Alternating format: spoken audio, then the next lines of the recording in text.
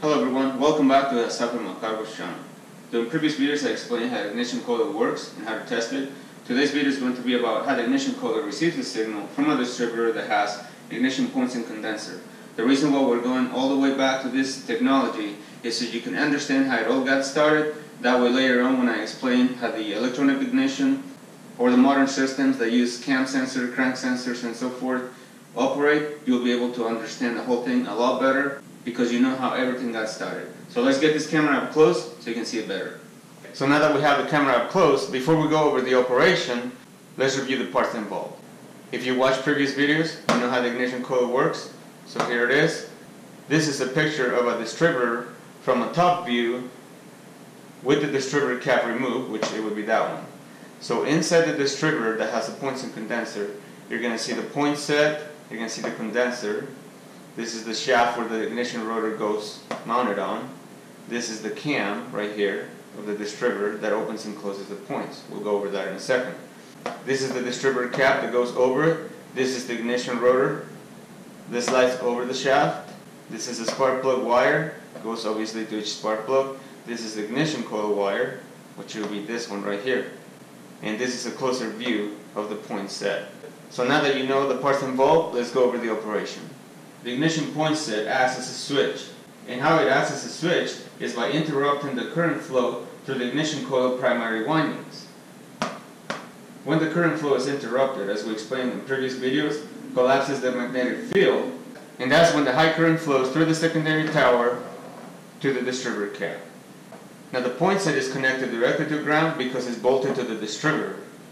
On the pictures that I drew right here, the points are closed because if you look at the cam, right now it's in its resting position.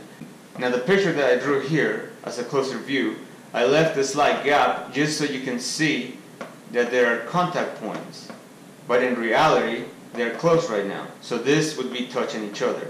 Now when the distributor rotates, because of the shape of the cam, and depending on the number of cylinders the engine has, that's how many cam lobes are going to exist. So this is a V8. We have 1, 2, 3, 4, 5, 6, 7, 8. So as it rotates, the cam is going to open the points. And when the points are opened is when the current flow is interrupted to the primary windings of the coil. And obviously that creates the current. Now something very important to know is why there's a need to have a condenser. The reason why this setup needs a condenser is because when the points are open, the electrical charge on the primary circuit, it would want to jump in between the two contacts. And one of the best ways to avoid the current from jumping from contact to contact when they're open is to have a device like a condenser that is going to absorb that excess energy when these contact points are open. If this setup didn't have a condenser or when the condenser goes bad, the contact points they burn very quickly. And that's why these two components are replaced in pairs. Always have a new condenser when you install a new point set.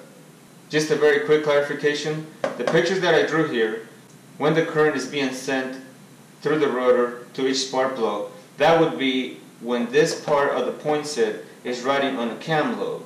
So if these two pictures were to match, the rotor right here would be somewhere in the middle, just so you know.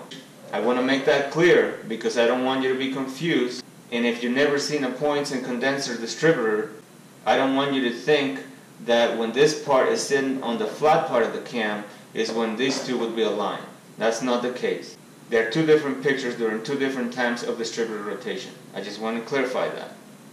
When dealing with points and condenser distributors, it's very important to know what dwell means and how to set it. So dwell is the period of time that the ignition points stay closed during distributor rotation. And this is adjusted by setting the point gap. What I did here, I brought my very antique dwell and tach meter. This shows you how long I've been doing this automotive. It's like forever.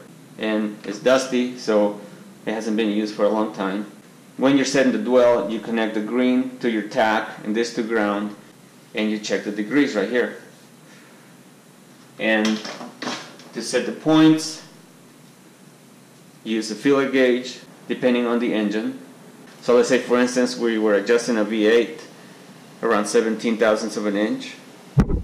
This would be the gap on the point set. So now that you know what dwell means, let's see how this takes place and how to set it.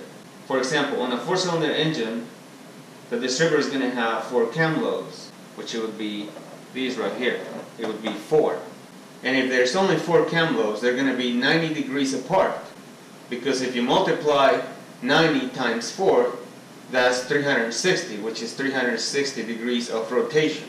So that's why a four-cylinder would have cam lobes 90 degrees apart. However, the dwell cannot be set at 90 degrees because there's got to be a time for the signal to be interrupted that goes to the coil.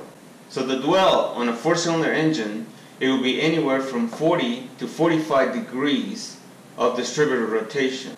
On a six-cylinder engine, the cam lobes, they're 60 degrees apart, 60 times 6, 360, but the dwell is set between 30 to 35 degrees of distributor rotation. On an eight cylinder, the dwell is set between 28 and 32 degrees of distributor rotation.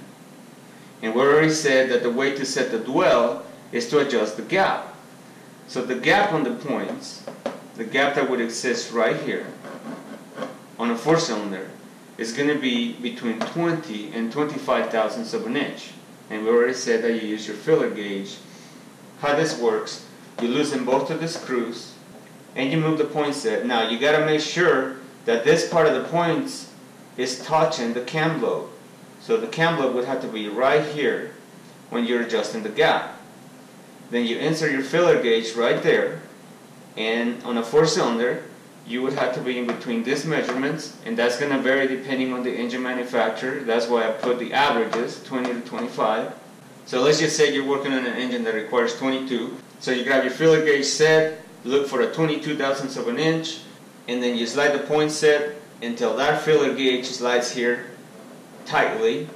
Then you tighten both of the screws. Then you slide the feeler gauge in between them again just to make sure that they didn't move when you tighten the screws. And that's how you set the gap on your point set. Last reminder, cam lobe needs to be touching this part of the point set right there. If it's closed like that, that's not going to work. So in a six cylinder, the average is going to be about 20 thousandths of an inch. And now you can see how a narrower gap is going to provide more dwell and a wider gap is going to produce less dwell. Now excessive dwell makes the points close too soon after opening. This can cut off the magnetic field collapse before it delivers the energy. Too little dwell gives insufficient time to build a magnetic field and both are going to produce weak spark. Some early distributors would have a window on the cap. It would be like right here if you were looking it up from the side and with an Allen wrench you can set the dwell when the vehicle is running. So that was kind of neat because that would enable you to look at your dwell reading and adjust it as the vehicle is running. Like I said, usually with an Allen wrench. So those were kind of cool, made things a lot faster for you.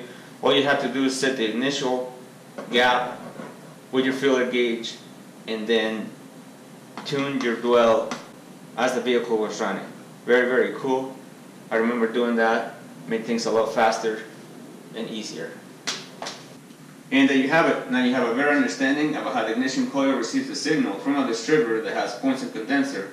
You also know what dwell means, you know how to set the point gap, and now that you have this basic knowledge, you're going to be better able to understand how the electronic ignition system works. So look for that on future videos. Thanks for watching. See you next time.